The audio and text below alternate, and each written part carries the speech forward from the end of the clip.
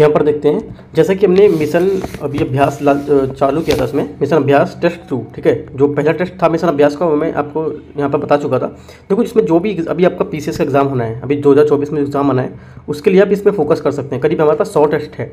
सौ टेस्ट में आपके काफ़ी सारे टॉपिक कवर हो जाएँगे। जैसे भी आपका एंशियंट हिस्ट्री चल रहा है, ठीक है? जोग्राफी आएगा पॉलिटी आएगा इकोनॉमिक तो आपसे काफ़ी ज़्यादा टॉपिक आपके यहाँ पर टेस्ट के माध्यम से कवर हो जाएँगे राइट तो यहाँ पर टेस्ट दो है, देख सकते हैं आप तो टेस्ट तीन भी लेके आऊँगा मैं। यहाँ पर आपके जो जितने भी अभ्यास टेस्ट रहेंगे इसमें इसमें चालीस क्वेश्चन रहेंगे, ठीक है? आप चालीस क्वेश्चन हर सब्जेक्ट के प्रैक्टिस कर सकते हैं डेली राइट तो स्टार्ट करते हैं, देखते हैं क्वेश्चन क्या है। सिंधु घाटी सभ्यता के विस्तार के संदर्भ में सूची एक और सूची दो का क्या मैच करना है इसमें, ठीक है? पूर्व नर्मदा नदी, पश्चिम आलमगीरपुर, उत्तर सुल्तानगढ़ दक्षिण मांडा, ठीक है? तो इसको मैच करते हैं, देखते हैं क्या मैच आता है यहाँ पर मैचिंग करने पे।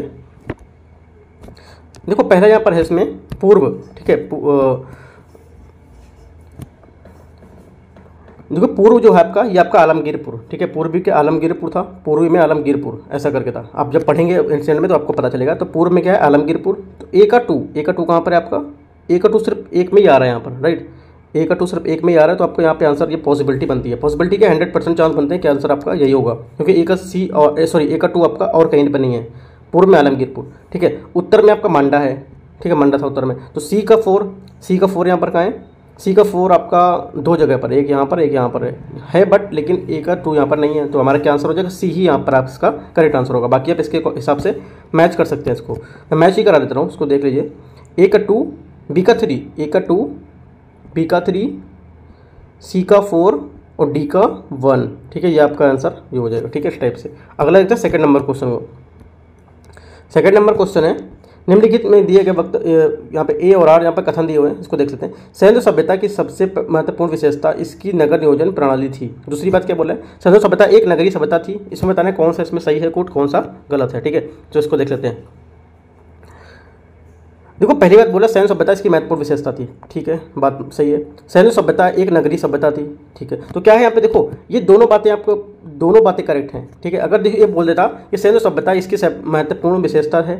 ठीक है, नगर नियोजन प्रणाली थी। उसके बाद बोल देता कि हड़प्पन सभ्यता से ही सब संबंधित है, ऐसा करके कुछ बोल देता। है हड़प्पन जो सिविलाइजेशन यहाँ से संबंधित है। तो क्या होता ओनली एक सही होता उस टाइम पे आपका। दूसरा गलत होता, क्योंकि हड़प्पा साइड बोल दिया। यहाँ पे दोनों चीज़ सेम बोल रहा है। राइट दोनों चीज़ सैन्य सभ्यता के बारे में ही बोल रहा है, ठीक है? तो दोनों हमारी स्टेटमेंट क्या है करेक्ट हो जाती हैं राइट अभी जैसे कुछ, अभी मैं क्वेश्चन इसमें बताऊँगा और उसमें लिखा होगा, एक एक ही व्याख्या नहीं करता है। क्यों नहीं करता है? बात तो स्टेटमेंट तो सही होगी दोनों बट क्या है, एक ने लगा दिया कि हड़प्पन साइड से रिलेटेड है, वो भी ठीक है बट यहाँ पे जिसकी बात की जा रही है, उससे आपको समझना है, ठीक है?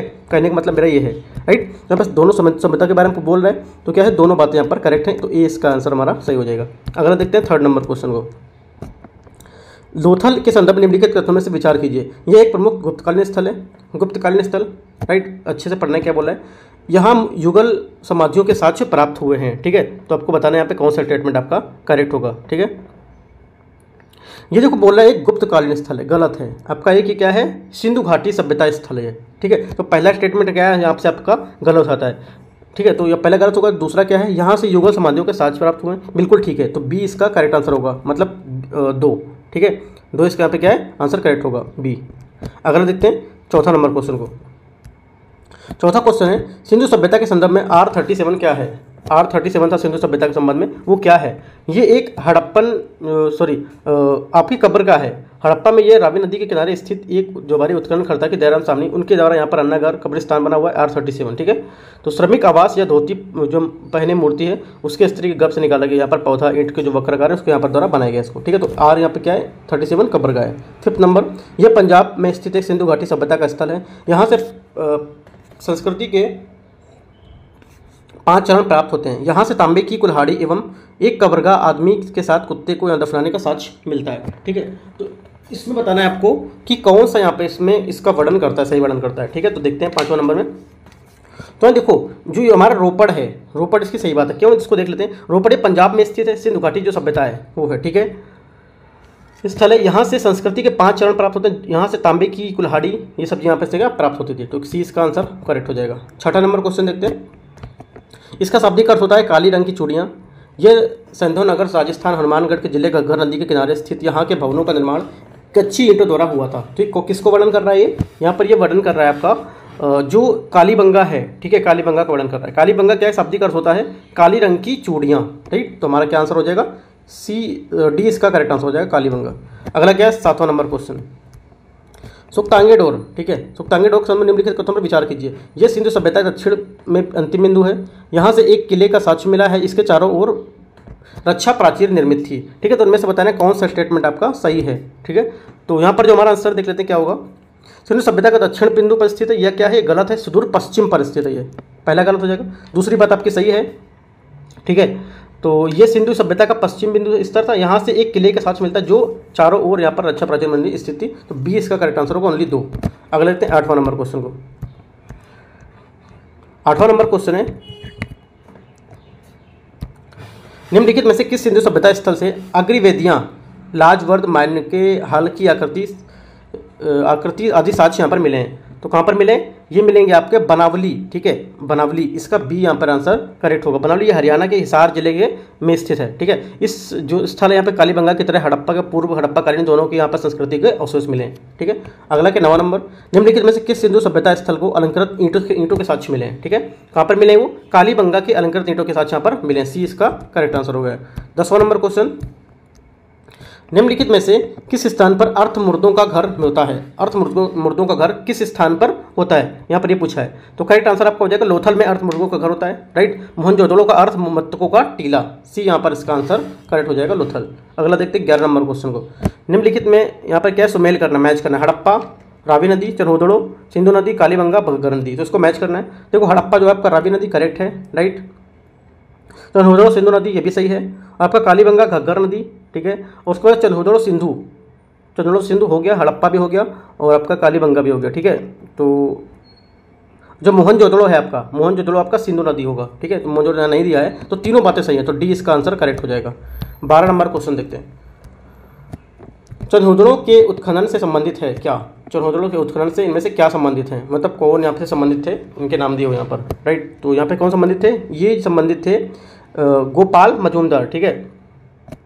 इनका करेक्ट आंसर होगा। अगला देखते हैं, तेरह नंबर क्वेश्चन निम्नलिखित में से सम्मिलित करना है। कौन से यहाँ पर सही सम्मिलित है? धौलावीरा गुजरात, ठीक है? और चनहुदड़ो मांटो गो, मांटो, मोंगली जिला, मोहनजोदड़ो, सिंध प्रशांत। तो इसमें से कौन सा करेक्ट है? हमारा हमारा दो बातें करेक्ट हैं। पहला और तीसरा। ठीक है? पहला और तीसरा यहाँ पर हमारा क्या होगा? करेक्ट होगा। थर्टी नंबर में।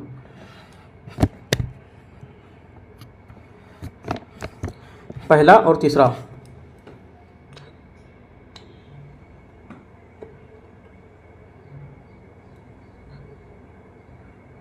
अगला देखते हैं यहाँ पर चौदह नंबर क्वेश्चन को। सिंधु सभ्यता का धौलावीरा नगर निम्नलिखित में से किस नदी के तट पर स्थित है? जो धौलावीरा है सिंधु नदी का, ये किस नदी के तट पर स्थित है? फोर्टी नंबर क्वेश्चन, ठीक है?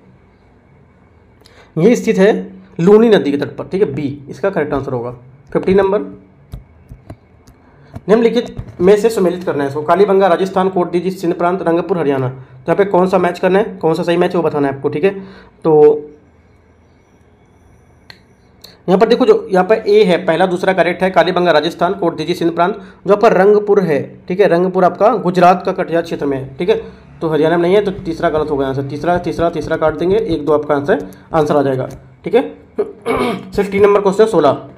निम्नलिखित में से सम्मिलित करना है इसको, देखना है। कालीबंगा घग्गर नदी, कोट दीजिए सिंधु नदी, रंगपुर ब्यास नदी। ठीक है तो मैच करना है सोलह नंबर में क्या इसका आंसर होगा।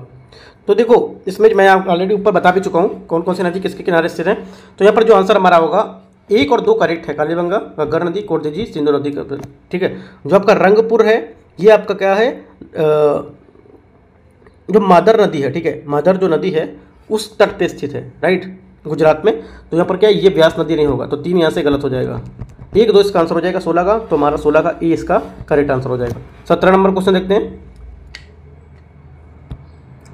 कोटदीजी के उत्खनन से संबंधित है क्या?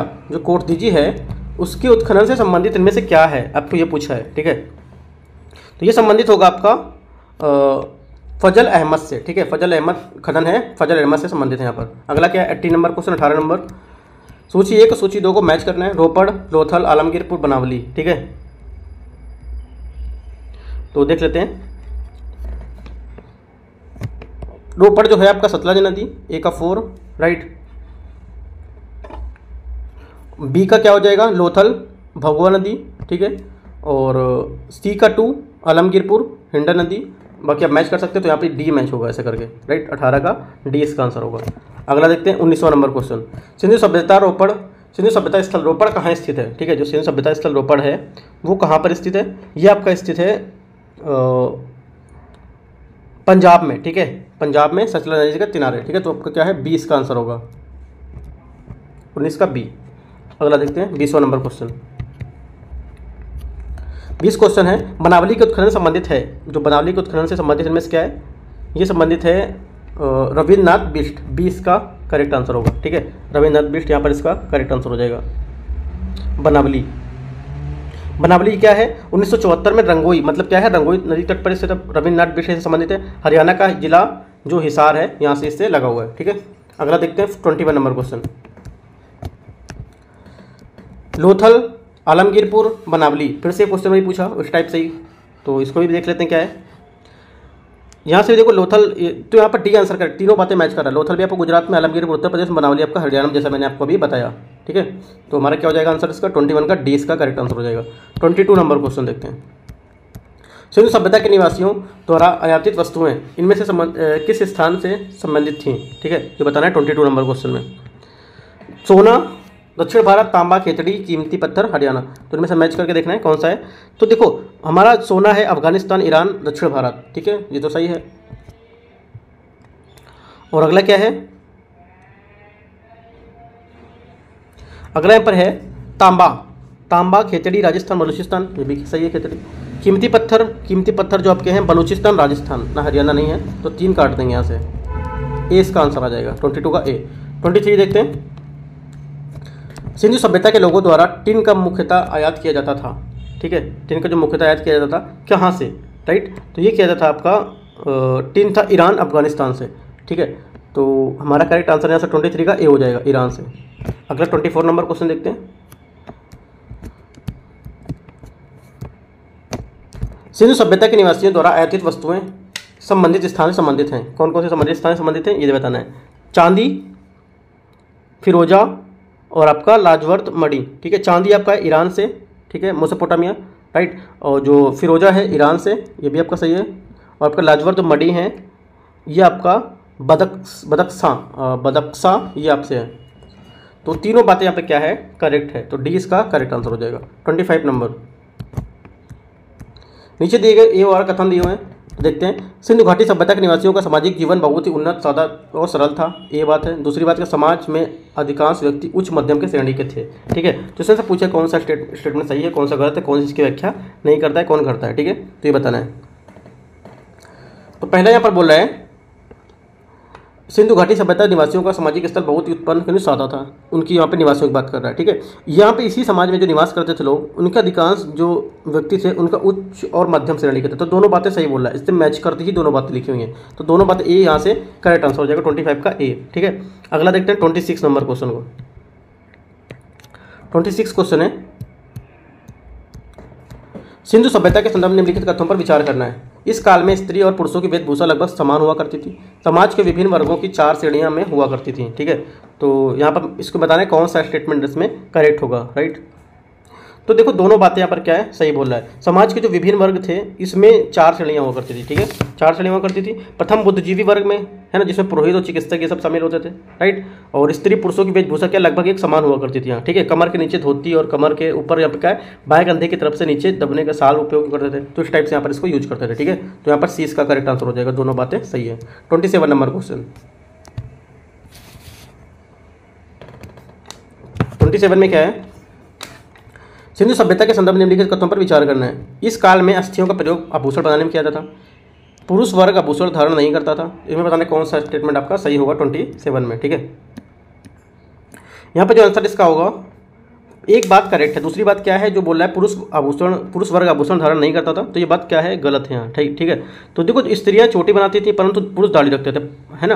पुरुष उस तरह जो, पुरुष उस तरह का उपयोग कर, जानते थे, आभूषणों का उपयोग स्त्री एवं पुरुषों दोनों के द्वारा यहाँ पर समान रूप से किया जाता था राइट आभूषण, सोना, तांबा, चांदी, कोठी और सीप तथा हड्डियों की कीमती पत्थरों का भी उपयोग करते थे लोग। आभूषण बनाने के लिए इनका उपयोग करते थे। कंठहार या भुजबंद अंगूठी, बूंदें या चूड़ियाँ, ये सब कमरबंद ये सब क्या है? इनके द्वारा उपयोग किया जाते हैं, ठीक है? पुरुष सोचते दोनों के द्वारा। तो क्या है? दोनों यहाँ पर करेक्ट हो गए यहाँ पे दूसरी बात गलत है राइट तुम्हारा ए इसका करेक्ट आंसर होगा twenty seven twenty eight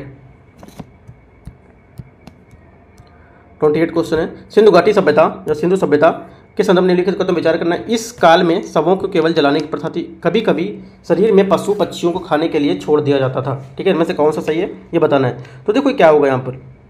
इस समय के लोग जो थे मृतकों को भूमि में गाड़ते थे और कभी कभी क्या है, शरीर को पशु पक्षियों को आने के लिए छोड़ देते थे, ठीक है? कुछ समय बाद ये लोग मृतकों के अवशेषों को घड़े में बंद करके गाड़ने लगे थे। इसमें मृत जो व्यक्ति है, उसकी पसंद की चीज़ें उस व्यक्ति के मरु शरीर यहाँ पर रख दी जाती थी। जिससे भी जो हम लोग जब काफ़ी टाइम जो देखते हैं कि यहाँ से ये प्राप्त हुआ, यहाँ से तो क्या एक आंकड़े लगाए जाते हैं कि शायद वो अगर वो रख के मार दिया गया होगा तो उस टाइम पर वो लोग इसका यूज़ करते होंगे, ठीक है? तो क्या होगा? तो हमारा बी यहाँ पर इसका करेक्ट आंसर होगा ओनली दो। पहला यहाँ पर गलत है, ठीक है? अगला देखते हैं ट्वेंटी नाइन नंबर क्वेश्चन को। उनतीसवां क्वेश्चन उनतीसवां क्वेश्चन बोला है, सिंधु घाटी सभ्यता के बारे में विचार करना है। सिंधु सभ्यता के बारे में, इस काल में घरों में उपयोग किए जाने वाले बर्तन कांसे और कांसे के बने होते थे। कोई कांसे सॉरी बर्तन का, कांसे का बने होने का कोई साक्ष्य नहीं मिलता, ये बोला है। ये कच्चे मिट्टी के बने होते थे बर्तन। तो मेरे से कौन सा सही है, ये पूछा है, ठीक है ट्वेंटी नाइन में। तो देखो, इसकी बात कर लेते हैं। जो हमारे घर थे, उनमें उपयोग किए जाने वाले बर्तन आदि की सामग्री थे, उनमें तांबे, कांसे, मिट्टी, लकड़ी, इन सबका उपयोग यहाँ पर किया जाता था, ठीक है? उसके बाद वस्तु को पकाकर यहाँ उपभोग में खाया जाता था, जिससे उन पर क्या है, पॉलिश और चित्रकार भी की जाती थी। उन्हें विभिन्न धातुओं का भी ज्ञान था, जैसे सोना, चांदी, तांबा, कांसा, टीन, ये सब का भी ज्ञान था। तो यहाँ पर क्या, दोनों बातें यहाँ पर क्या है, गलत हैं, ठीक है? तो क्या डी इसका करेक्ट आंसर होगा। थर्टी नंबर सिंधु सभ्यता के संदर्भ में निम्नलिखित पर विचार करना, इस काल के लोग बैलगाड़ियों से परिचित थे। इस काल के लोगों को मानवीय चिकित्सा का भी ज्ञान था। तो इसमें से देखते क्या हमारा आंसर होगा थर्टी में। तो देखो, यहाँ पे दोनों बातें क्या है करेक्ट हैं, क्योंकि यातायात के लिए बैलगाड़ियों का उपयोग करते थे। इनकी जो बैलगाड़ियाँ थी, छत, लकड़ी की ढकी हुआ करती थी, ठीक है? इन लोगों को मानवीय चिकित्सा का भी ज्ञान हुआ करता था, ठीक है? तुम्हारा सी इसका करेक्ट आंसर दोनों बातें करेक्ट हैं। Thirty one. सिंधु सभ्यता के निम्नलिखित कथनों विचार करना है। इस काल में धातु मुद्रा का प्रयोग होता था। दजला फरात नदियों की भूमि वाले क्षेत्र से हड़प्पा वासियों के वाणिज्यिक संबंध थे। तो इनमें से कौन सा सही है, ये बताना है थर्टी वन में। तो थर्टी वन हमारा, यहाँ पे बी स्टेटमेंट करेक्ट है। पहली बात गलत है। इस काल के लोग धातु मुद्रा का भी प्रयोग होता था, ये गलत है है ना? तो हमारा क्या हो जाएगा? धातु मुद्रा का प्रयोग ये नहीं होता था यहाँ पर। व्यापार की वस्तु के विनिमय की प्रणाली मौजूद थी उस टाइम पर ठीक है? अरब सागर के तट पर उनके पास कुशल जो नौवन प्रणाली थी, वो भी मौजूद थी राइट हड़प्पाई लोग जो पत्थर, धातुओं और सीप, इन संघ, इन सब का व्यापार करते थे। तो पहला बात क्या है?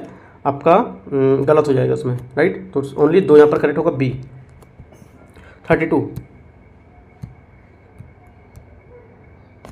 Thirty two में बोला है, इसमें ए और आ दो स्टेटमेंट दिए हैं। हड़प्पाई लोग, पत्थर, धातुओं, सीप संघ का व्यापार करते हैं, जैसे मैंने आपको बताया पहले, ठीक है? व्यापार की वस्तुएँ विनय प्रणाली मौजूद थी। दोनों बातें सही हैं, मैं आपको दोनों बातें बता चुका हूँ पहले वाले क्वेश्चन में, ठीक है? तो क्या दोनों बातें यहाँ पर क्या है? करेक्ट हैं थर्टी टू में राइट आपको देखो, देखने की ज़रूरत नहीं पड़ी तो मैंने दोनों बातें आपको बता दी कि दोनों बातें सही हैं, ठीक है? ए, आर सही है ए, आर है कि सही स्पष्टीकरण है तो आपका बीस का आंसर हो जाएगा। अगला देखते हैं। Thirty, three number question. Sindhu सभ्यता के संदर्भ में विचार करना है। यहाँ श्रेष्ठ नागरिक नागरिक पालिका शासन व्यवस्था के संकेत भी मिलते हैं। शासन तथा शासित प्राय संघर्ष होते रहते थे इसमें। ठीक है तो कौन सा सही इसमें सही बताना है। Thirty three number question. ठीक है तो देखो यहाँ पर क्या सिंधु घाटी सभ्यता व्यापारिक कुलीन तंत्र ना होकर एक शक्तिशाली केंद्रीय सरकार थी। ठीक है क्या होगा? पहली बात यहाँ पर सही है। अगला क्या है? योजनाबद्ध नगर निगम नापने तोलने समान साधन योजनाबद्ध तरीकों से सड़क का निर्माण किया जाता है यहाँ श्रेष्ठ नगर पालिका जो शासन व्यवस्था था उसके भी संकेत मिलते हैं, जैसा कि मैंने आपको बताया स्टेटमेंट में। ठीक है? संपूर्ण घाटी की दो राजधानियाँ, हड़प्पा एवं मौजूदों थी। दुर्ग भवन अवशेष यहाँ पर इससे ज्ञात होता है। ठीक है? तो हमारे क्या है? हमारा ए इसका करेक्ट आंसर होगा थर्टी थ्री का ए ठीक है? अगला देखते हैं थर्टी फोर ओनली एक करेक्ट था उसका। थर्टी फोर हिंदू सभ्यता के बारे में यहाँ भी पूछा है, योजना नगरबद्ध नापने तोलने का समान साधन, महिलाओं की निरंतर स्थिति, इसमें से क्या सही है? ठीक है? क्या इसमें से सही उत्तर है? आपको ये बताना है थर्टी फोर में। तो थर्टी फोर में क्या है? यहाँ पे एक दो बातें हैं जो हमारी करेक्ट है। योजनाबद्ध नगर, जैसे मैंने आपको बताया, नापने तोड़ने के लिए सम्मान का साधन, ये भी आपका सही था, मैं भी ऊपर बता चुका हूँ। महिलाओं की जो निरंतर स्थिति थी, ये क्या है? गलत होगा राइट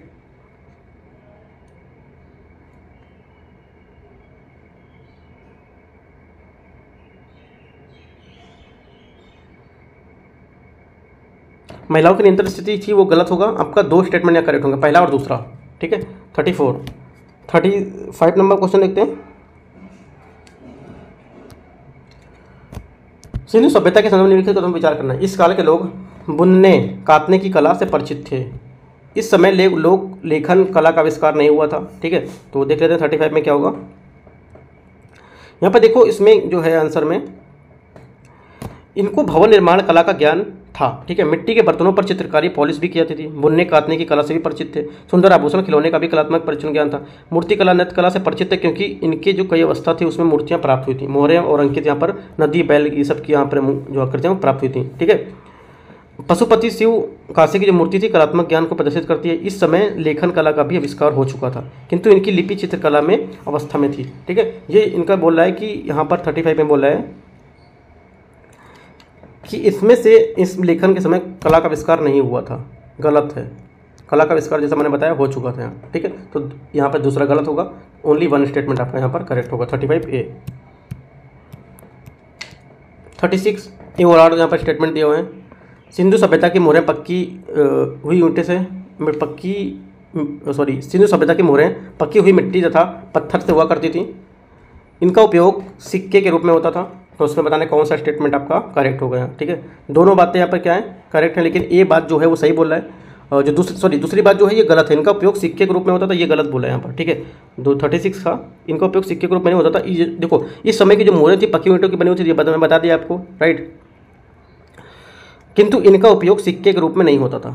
ये आर स्टेटमेंट गलत होगा यहाँ पर आपका। ओनली ए करेक्ट होगा तो सी इसका करेक्ट आंसर होगा राइट मुद्राओं के आकार जो था भिन्न भिन्न होता था, संभवतः ये पैतृक धरोहर के उपयोग में की जाती होंगी। थर्टी सेवन नंबर क्वेश्चन देखते हैं। सिंधु सभ्यता की देन माना जाता है किसे? ठीक है सिंधु सभ्यता की देन माना जाता है। दशमलव पद्धति पर आधारित माप, तौल प्रणाली नगर नियोजन और नालियों की व्यवस्था या बहुफसली कृषि व्यवस्था। तो इन तीनों को देखना है और बताना है कौन सा स्टेटमेंट आपका यहाँ पर करेक्ट होगा। ठीक है तो देखो सिंधु सभ्यता की जो हमारी जानकारी के प्रमुख स्रोत हैं, खुदाई से प्रचलित जो प्रथाएँ थी, ऐतिहासिक काल से निरंतर यहाँ पर प्रचलित में प्रचलित में रही हैं। ठीक है दशमलव पद्धति पर आधारित मॉप तौल प्रणाली, ये भी थी। नगर नियोजन प्रणाली, ये भी थी।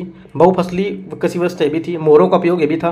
पशु पर धार्मिक महत्व, ये भी था। आंतरिक और व्यापार, ये भी था। मतलब ये सब यहाँ पर क्या है? इनकी तीन मानी जाती थी। तो क्या तीनों यहाँ पर स्टेटमेंट करेक्ट होंगे? तीन करेक्ट होंगे प्लस तीन बातें मैंने आपको और बताएँ एक्स्ट्रा वो भी आप नोट कर सकते हैं। अगला क्या है? थर्टी एट नंबर नीचे दिए गए वक्तव्य को, ए और दो कथन में कौन सा सही है, कौन सा गलत है, आपको ये बताना है, ठीक है? सिंधु घाटी सभ्यता मुख्यतः एक से एक लौकिक सभ्यता माना जाता है।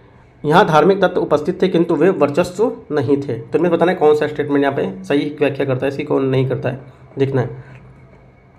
तो देखो यहाँ पर दोनों बातें क्या है, दोनों बातें सही बोला क्योंकि सिंधु घाटी सभ्यता प्रमुखता एक लौकिक सभ्यता थी। यहाँ धार्मिक एवं उपस्थित जो यहाँ पे वर्ग थे, वो थे, किंतु वर्चस्व यहाँ पर नहीं, वर्चस्वशाली यहाँ पर नहीं थे, ठीक है? उस काल में भारत में कपास के वस्त्र बनाए जाते थे, जहाँ तक कि सबसे पहले कपास उत्पादन का ही श्रेय सिंधु घाटी सभ्यता को दिया जाता है। याद रखना है आपको। भीम बेटका की गुफाएँ भोपाल से 45 किलोमीटर पश्चिम में स्थित हैं, ठीक है? इन गुफाओं के शैल चित्रों में हाथी हिरन सांबर जैसे चित्र हैं यहाँ पर यहाँ पर इसका बनाए कथन में, ठीक? तो यहाँ पर क्या दोनों बातें यहाँ पर करेक्ट होंगे थर्टी एट में। अगला क्या थर्टी नाइन थर्टी नाइन जैसे भीम बेटका वो मैंने ऊपर ही बता दिया आपको। तो भीम बेटका गुफाओं सिंधु घटी सभ्यता से संबंधित थी। सबसे पहले कपास उत्पादन का श्रेय सिंधु घटी सभ्यता ठीक है? दोनों बातें मैं आपको बता ही चुका हूँ। दोनों बातें क्या हैं यहाँ पर? करेक्ट हैं, ठीक है? तो सॉरी भीम बेटकर गुफाएँ सिंधु घाटी सभ्यता में पाई जाती थी। ये मैंने आ,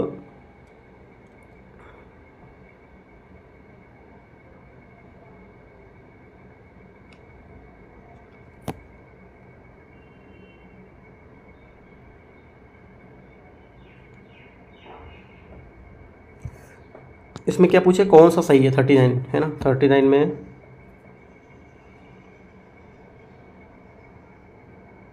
थर्टी नाइन में देखो बी यहाँ पे करेक्ट होगा इसका। सबसे पहले कपास का उत्पादन सिंधु सभ्यता दिया जाता लेकिन मैंने आपको बताया जो भीम बेटकर की गुफाएँ भोपाल से पैंतालीस किलोमीटर पश्चिम में स्थित है, इन गुफाओं के शैल चित्र हाथी के देखो भीम जो भीम बेटका है, सिंधु घाटी सभ्यता से संबंधित नहीं थी। ये क्या है? ये जो गुफाएँ हैं भीम बेटका की, भोपाल से करीब पैंतालीस किलोमीटर दूर तो यहाँ से भोपाल से कोई मतलब नहीं है इसका सिंधु घाटी सभ्यता का, ठीक है? तो हमारा ये इसका गलत होगा पहला। ओनली दो यहाँ पर इसका करेक्ट आंसर होगा बी ठीक है? थर्टी नाइन का बी अगला देखते हैं फोर्टी नंबर क्वेश्चन, जो लास्ट क्वेश्चन है हमारा। कथन दिया हुए हैं, सिंधु घाटी सभ्यता के लोग मूर्ति कला से नृत्य कला से परिचित थे। ठीक है, दूसरा स्टेटमेंट क्या है? दूसरा स्टेटमेंट यहाँ पर है, यहाँ के, यहाँ से कई नृत्य अवस्था की मूर्तियाँ प्राप्त हुई हैं, ठीक है? इनमें से बोलना है कौन सा सही है?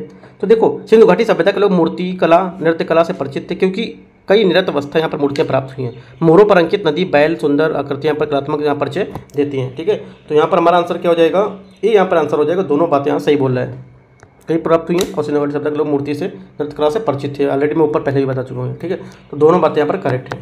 देखो, सिंधु सभ्यता आपका काफ़ी ज़्यादा टॉपिक यहाँ पर कवर हो जाएगा कवर हो गया होगा चालीस क्वेश्चनों में।